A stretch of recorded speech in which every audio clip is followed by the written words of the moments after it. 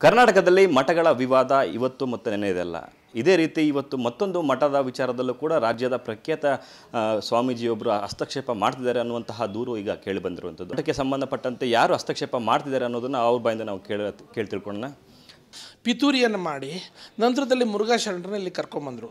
ಮುರುಘಾ ಇಲ್ಲಿ ಬರೋ ಅವಶ್ಯಕತೆ ಇದ್ದಿಲ್ಲ. ಆದರೆ ಅವರಿಗೆ ಇದೊಂದು ರೀತಿಯಾದಂಥ ಹ್ಯಾಬಿಟ್ ಇದೆ. ಅದಕ್ಕೆ ಎಬಿಚುಯಲ್ ಅಫೆಂಡರ್ ಅಂತ ಕೂಡ ಕರೀತಾರೆ. ಅವರ ಒಂದು ಚಾಳಿ ಏನಪ್ಪ ಅಂತಂತಂದರೆ ಎಲ್ಲೇ ಮಠ ಆಸ್ತಿಗಳು ಕಂಡ್ರೆ ಅವರಲ್ಲಿ ಪ್ರತ್ಯ ಪ್ರತ್ಯೇಕ ಪ್ರತ್ಯಕ್ಷ ಆಗ್ತಾರೆ, ಅತಿಕ್ರಮ ಪ್ರವೇಶ ಮಾಡ್ತಾರೆ. ಯಾರೋ ಒಬ್ಬ ಅನಾಮಧೇಯ ವ್ಯಕ್ತಿನ ಕರ್ಕೊಂಬಂದು ಅಲ್ಲಿ ಪೂಜೆ ಮಾಡೋದಕ್ಕೆ ಅಂತ ಬಿಡ್ತಾರೆ. ನಂತರ ಒಂದು ಆರು ತಿಂಗಳಾದಮೇಲೆ ಅವನಿಗೆ ಕಾವಿ ಬಟ್ಟೆ ಕೊಟ್ಬಿಟ್ಟು ಇವನೇ ಇಲ್ಲಿ ಸ್ವಾಮಿ, ನನ್ನ ಶಿಷ್ಯ ಅಂತ ಹೇಳಿ ಹೇಳ್ಬಿಡ್ತಾರೆ. ಈ ರೀತಿಯಾಗಿ ಮುರುಘಾ ಶರಣರು ಇದರೊಳಗೆ ಅನಾವಶ್ಯಕವಾಗಿ ಹಸ್ತಕ್ಷೇಪ ಮಾಡಿದ್ರು. ಈಗ ತಮ್ಮ ಮಠದ ವಿಚಾರಕ್ಕೆ ಬಂದಂಥ ಸಂದರ್ಭದಲ್ಲಿ ಮುರುಘಾ ಶರಣರು ಯಾವ ರೀತಿ ಎಂಟ್ರಿ ಆಗ್ತಾರೆ ಮತ್ತು ಯಾರ್ಯಾರನ್ನ ಅಲ್ಲಿ ಅಲೋಕೇಟ್ ಮಾಡಿಕೊಂಡು ಮಠನ ಕಬಳಿಸೋ ಪ್ರಯತ್ನ ಮಾಡ್ತಾರೆ ತಮ್ಮ ಆರೋಪದ ಪ್ರಕಾರ? ಅವರು ಇಲ್ಲಿಗೆ ಬಂದಿದ್ದೇ ಒಂಥರ ವಿಚಿತ್ರವಾಗಿದೆ ಮತ್ತು ನಿಗೂಢವಾಗಿದೆ. ಯಾಕಂತಂದರೆ ಅವ್ರಿಗೆ ಇದು ಯಾವುದೇ ರೀತಿ ಸಂಬಂಧಪಡುವಂಥದ್ದಲ್ಲ. ಇದು ನಾವು ನಮ್ಮ ಕೈಯಿಂದ ಮಾಡಿರೋಂಥ ಮಠ. ಇದು ಯಾವುದೇ ಮೊದಲು ಅವರಿಗೆ ಯಾವುದೇ ರೀತಿ ಸಂಬಂಧ ಇರೋವಂಥ ಮಠ ಅಲ್ಲ. ಇದನ್ನು ನಾನು ಎಪ್ಪತ್ತೈದನೇ ಇಸ್ವಿಯಿಂದ ಎಪ್ಪತ್ತೊಂಬತ್ತನೇ ಇಸ್ವಿಯಿಂದಲೂ ಕೂಡ ಶ್ರಮ ವಹಿಸಿ ಕಟ್ಟಿದಂಥ ಸಂಸ್ಥೆ. ಇದಕ್ಕೆ ಆ ಸುತ್ತಮುತ್ತ ಗ್ರಾಮಸ್ಥರೇ ಸಾವಿರಾರು ಜನ ಸಾಕ್ಷಿ ಇದ್ದಾರೆ. ಈಗ ಇತ್ತೀಚೆಗೆ ತಾವು ದಾ ದಾಬಸ್ಪೇಟೆಯಲ್ಲೂ ಕೂಡ ಒಂದು ಕಂಪ್ಲೇಂಟ್ನ ರಿಜಿಸ್ಟರ್ ಮಾಡಿದ್ದಾರೆ?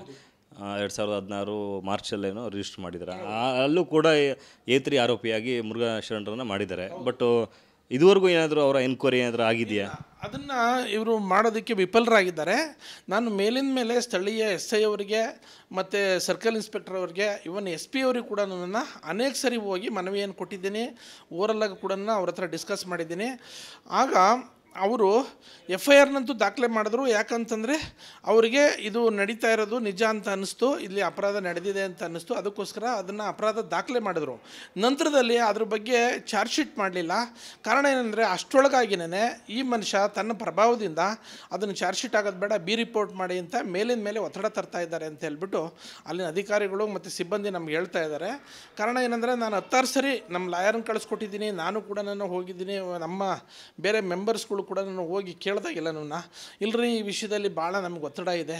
ನಾವು ಬಿ ರಿಪೋರ್ಟ್ ಮಾಡಬೇಕು ಅಂತ ಅವ್ರು ಹೇಳ್ತಾ ಇದ್ದಾರೆ ಇದು ನಡೆದಿರೋದು ಅಪರಾಧ ನಿಜವಾಗಿರೋದ್ರಿಂದ ನಾವು ಇದಕ್ಕೆ ಚಾರ್ಜ್ ಶೀಟ್ ಮಾಡಬೇಕು ಅನ್ನೋ ಉದ್ದೇಶಕ್ಕೆ ಇದ್ದೀವಿ ಆದರೆ ಚಾರ್ಜ್ ಶೀಟ್ ಮಾಡಬೇಡಿ ಅಂತ ಹೇಳ್ಬಿಟ್ಟು ಒತ್ತಡ ಹಾಕಿ ಮುರುಘಾ ಶರಣರು ಮತ್ತು ಕೆಲವೊಬ್ಬರು ರಾಜಕೀಯ ವ್ಯಕ್ತಿಗಳು ನಮ್ಮನ್ನು ತಡೆ ಹಿಡಿದಿದ್ದಾರೆ ಅನ್ನೋ ಮಾತನ್ನು ಅವ್ರು ಹೇಳ್ತಾ ಇದ್ದಾರೆ ಅಲ್ಲ ಈ ಕೇಸಲ್ಲಿ ತಾವು ದೂರದಾರರು. ಪೊಲೀಸರನ್ನ ಅಥವಾ ಏನಾದರೂ ಹೋಮ್ ಮಿನಿಸ್ಟರ್ ಏನಾದರೂ ಸಂಪರ್ಕ ಮಾಡಿದ್ದೀರಾ? ಅವ್- ಅವ್ರ ಕಡೆಯಿಂದ ಏನಾದರೂ ಉತ್ತರ ಬಂತ ನಿಮಗೆ? ಖಂಡಿತ ಮಾಡಿದ್ದೀನಿ. ನಾನು ಎಸ್ ಪಿ ಅವ್ರನ್ನೂ ಭೇಟಿ ಮಾಡಿದ್ದೀನಿ. ಆಮೇಲೆ ಡಿ ಸಿ ಇವರು ಐ ಜಿ ಪಿ ಸೆಂಟ್ರಲ್ಲು ಅವ್ರನ್ನ ಭೇಟಿ ಮಾಡಿದ್ದೀನಿ.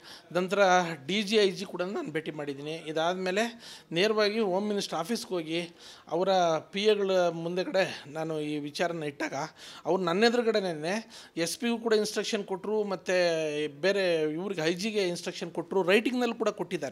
ಇದನ್ನು ತಕ್ಷಣ ಬಗೆಹರಿಸ್ಬಿಟ್ಟು ಅವರಿಗೆ ಸೂಕ್ತ ಬಂದೋಬಸ್ತು ರಕ್ಷಣೆ ಕೊಡಿ ಅಂತೇಳಿ.